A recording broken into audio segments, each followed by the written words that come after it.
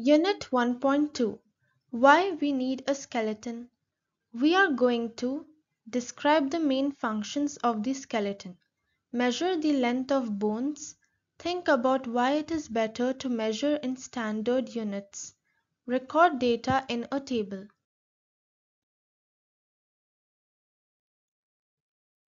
Getting started.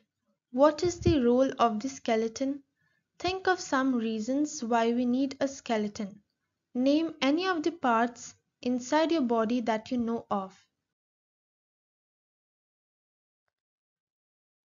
Words to learn. Function. Functions of the skeleton. Shape and structure. Protect organs. Muscle attachment. Produce blood cells. Calcium storage. Length The length is the longest side, the red sides show length.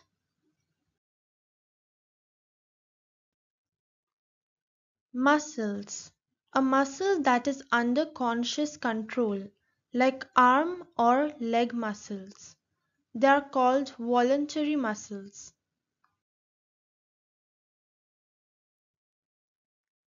Organ Eye tooth, lung, liver, skin, brain, heart, stomach, kidney, bowels. These all are organs. Protect. Our bones give our bodies shape and support and protect our organs and systems.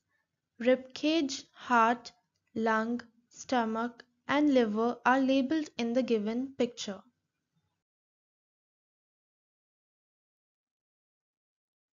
Support The skeletal system The skeletal system is the body system that serves as a support framework, protects vital organs, works with muscles to produce movement, and produces blood cells.